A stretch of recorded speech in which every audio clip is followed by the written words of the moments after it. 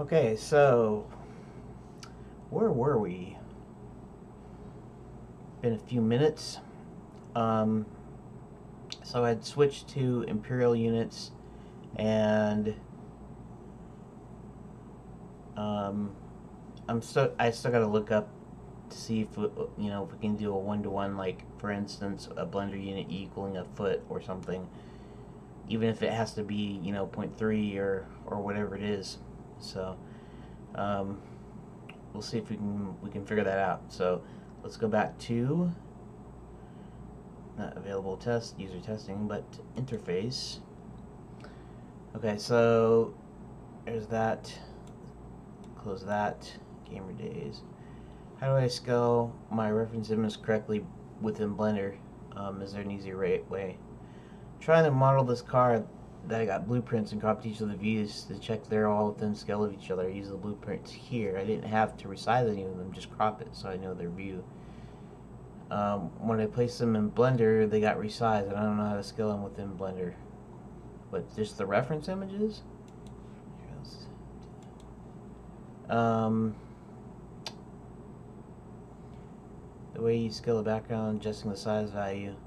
Yeah, um, Okay, I, see there's a size value. I actually just use scale um, when I'm in object mode to scale the image. But uh, that doesn't really matter. And that's not really of interest. Um, Blender scale tool, grid setting properties, options. Um, let's see.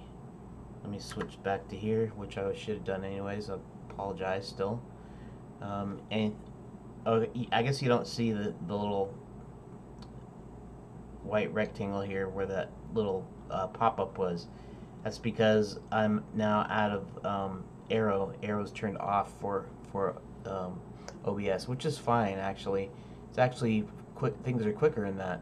I can open, uh, you know, folders and stuff really quick because of that. Um, Okay, so grid setting, properties and options in Blender. Okay, so let's look at this in metric and imperial units in Blender. Um, maybe I should do a thing. Um, let's see. One unit versus one foot, something like that.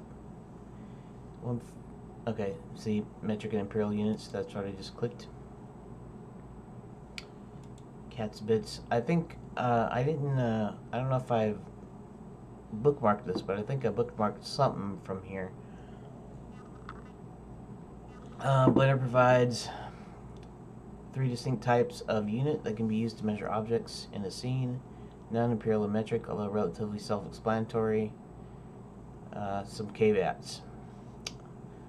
Let's see. Uh, basic understanding of Blender is recommended but not specifically required.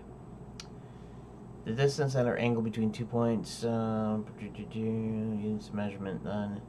Each type of unit has its own sets uh, of options.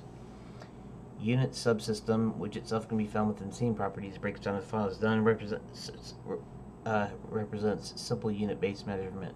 Metric re represents millimeters, meters, etc. Imperial represents inches, foot, mile.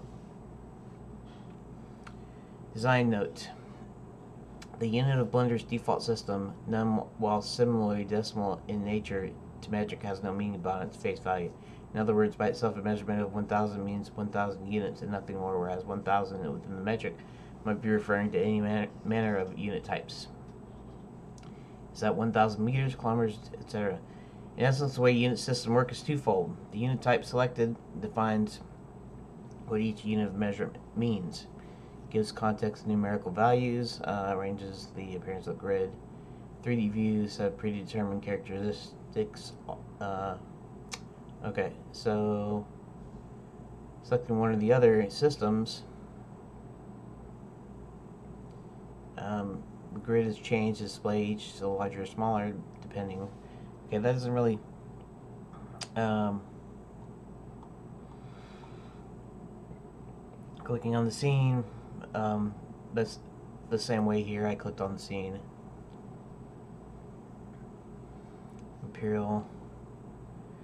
When selecting Imperial in the 3D views gr grid, when viewed in perspective mode, this tends to resize quite significantly because each cell represents a small unit of measurement, foot set to meters. Each minor grid cell becomes 1 by 1 meter area, and a major grid unit that representing a 10 by 10 meter whereas set to imperial each minor cell is 1 by 1 foot area a major grid then represents a 10 square foot area which is significantly smaller than 10 square meters. This, this that's fine with me if it, one unit is uh, is uh, one foot right? Uh, okay. Selecting metric.